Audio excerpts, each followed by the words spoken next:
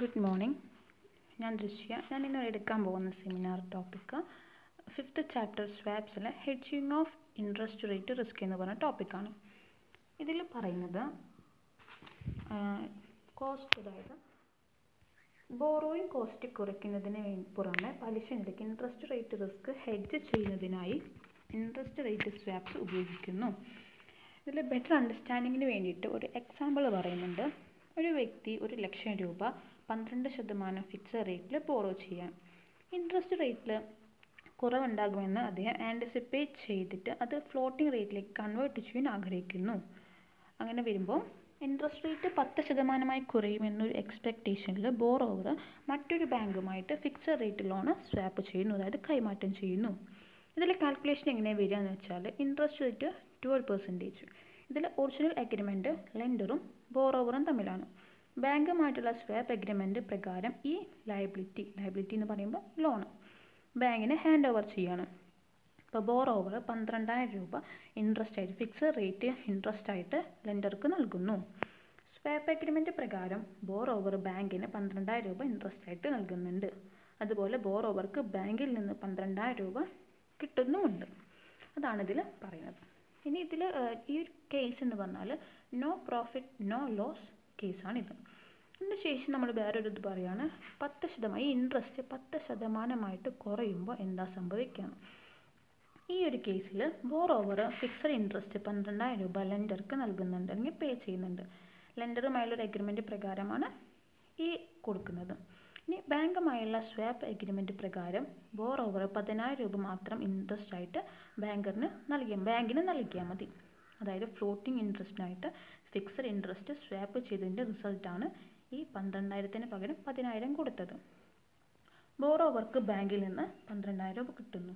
അതായത് ബോറോവർ ബാങ്കിലേക്ക് പന്ത്രണ്ടായിരം ബോറോവർ ബാങ്കിലേക്ക് പതിനായിരം രൂപ കൊടുക്കുന്നുള്ളൂ. പക്ഷേ ബാങ്കിൽ നിന്ന് ബോറോവർക്ക് പന്ത്രണ്ടായിരം രൂപ കിട്ടുന്നുണ്ട്. അപ്പോൾ ഇവിടെ രണ്ടായിരം രൂപ ബോറോവർക്ക് ലാഭമാണ് കിട്ട ഉണ്ടാവുന്നത്. ഇത് അതർ വേർഡ്സിലാക്കുമ്പോൾ ബോറോവറുടെ ഇൻട്രസ്റ്റ് ലയബിലിറ്റി പതിനായിരം രൂപ മാത്രമേ ഉള്ളൂ. സ്വാപ്പ് അഗ്രിമെന്റ് ഇല്ലെങ്കിൽ അയാൾക്ക് ഈ ബെനിഫിറ്റ് അതായത് ഈ ഫോളിങ് ഇൻട്രസ്റ്റ് കിട്ടുന്നില്ല. അയാൾ ഈ പന്ത്രണ്ടായിരം രൂപ മുഴുവനായിട്ട് അടയ്ക്കേണ്ടതുണ്ട്. അതാ പറയുന്നത് ഇനി ഇവിടെ ശ്രദ്ധിക്കേണ്ട ഒരു കാര്യം ഫിക്സ്ഡ് ഇൻട്രസ്റ്റ് ഫ്ലോട്ടിംഗ് റേറ്റ് ഇൻട്രസ്റ്റുമായിട്ട് എക്സ്ചേഞ്ച് ചെയ്യുമ്പോൾ ഇൻട്രസ്റ്റ് റേറ്റ് കുറഞ്ഞാൽ മാത്രമേ ലാഭം ഉണ്ടാകുന്നുള്ളൂ. ഇൻട്രസ്റ്റ് റേറ്റ് ഇൻക്രീസ് ചെയ്യുമെന്ന് എക്സ്പെക്റ്റ് ചെയ്യുമ്പോൾ ഇൻട്രസ്റ്റ് ഫിക്സഡ് ഇൻട്രസ്റ്റിനായിട്ട് ഫ്ലോട്ടിംഗ് ഇൻട്രസ്റ്റ് സ്വാപ്പ് ചെയ്യാൻ ബോറോവർ ആഗ്രഹിക്കുന്നുണ്ട്. Interest rate thirteen point five percentage ആയിട്ട് ഇൻക്രീസ് ചെയ്യുമ്പോൾ ഇൻക്രീസ് ചെയ്യുമ്പോൾ എന്ന് കരുതുക. അപ്പോൾ എന്താ സംഭവിക്കുക നോക്കാം. ഇതിലെ കാൽക്കുലേഷനിൽ ബോറോവറും ലെൻഡറും തമ്മിലുള്ള ഒറിജിനൽ അഗ്രിമെന്റ് പ്രകാരം ബോറോവർ പതിമൂവായിരത്തി അഞ്ഞൂറ് രൂപ thirteen thousand five hundred rupees interest ലെൻഡർക്ക് നൽകുന്നുണ്ട്. അതായത് തേർട്ടീൻ പോയിന്റ് ഫൈവ് പെർസെന്റേജ് ആയിട്ട് കാൽക്കുലേറ്റ് ചെയ്യുമ്പോൾ. ഇനി ബാങ്കുമായുള്ള സ്വാപ്പ് അഗ്രിമെന്റ് പ്രകാരം ഫിക്സഡ് ഇൻട്രസ്റ്റിന് ഫ്ലോട്ടിംഗ് ഇൻട്രസ്റ്റ് എക്സ്ചേഞ്ച് ചെയ്യാണ് ഇവിടെ ചെയ്യുന്നത്. അപ്പോൾ ബോറോവർ പന്ത്രണ്ടായിരം രൂപ മാത്രം ഫിക്സഡ് ഇൻട്രസ്റ്റ് നൽകിയാൽ മതി.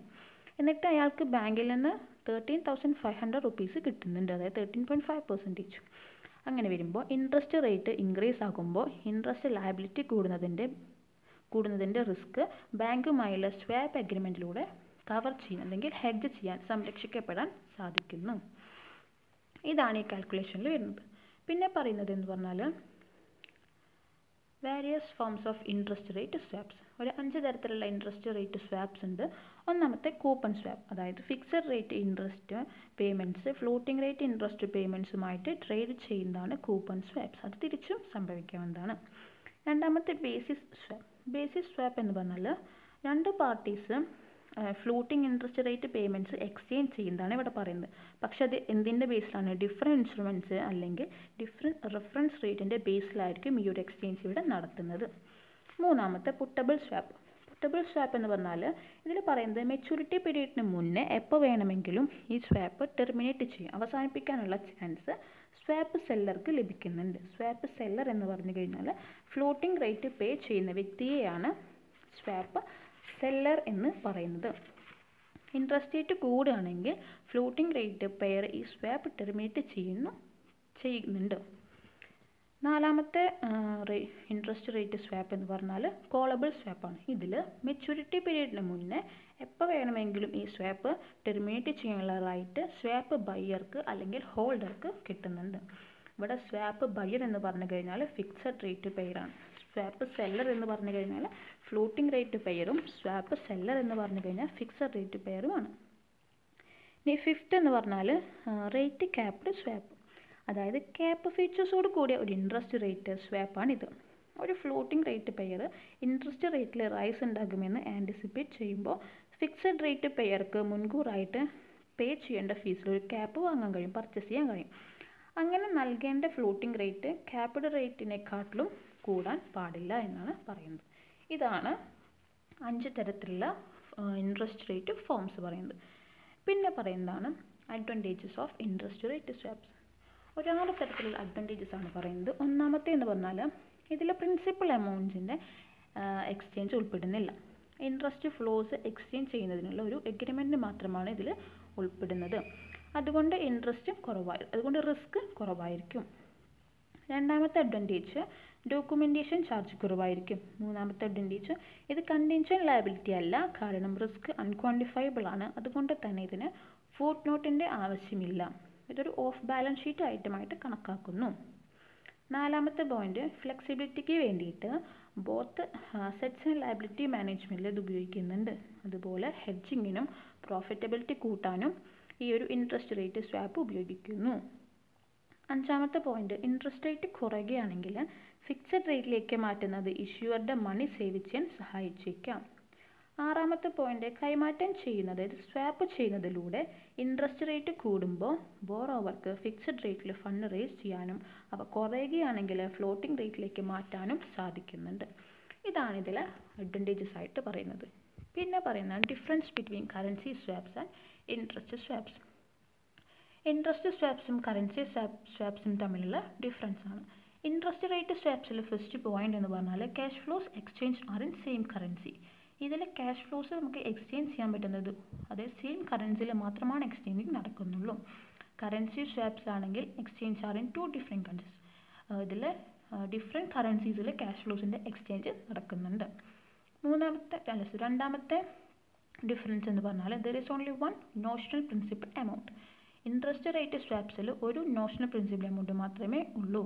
കറൻസി സ്വാപ്സിലാകുമ്പോൾ രണ്ട് നോഷണൽ പ്രിൻസിപ്പൽ എമൗണ്ട് ഉണ്ട്. മൂന്നാമത്തെ ഡിഫറൻസ് പറയുമ്പോൾ ഇൻട്രസ്റ്റ് റേറ്റ് സ്വാപ്പിൽ നോഷണൽ പ്രിൻസിപ്പൽ എമൗണ്ട് എക്സ്ചേഞ്ച് ചെയ്യുന്നില്ല.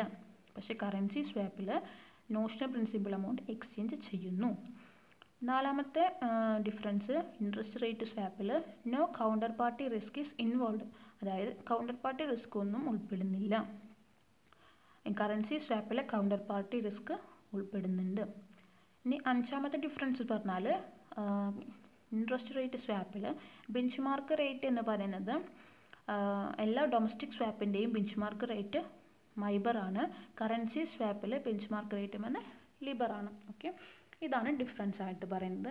ഇതിലെന്തെങ്കിലും ഡൗട്ട് ഉണ്ടെങ്കിൽ ചോദിച്ചാൽ മതി വാട്സപ്പിൽ ചോദിച്ചാൽ മതി പറഞ്ഞു തരുന്നുണ്ട്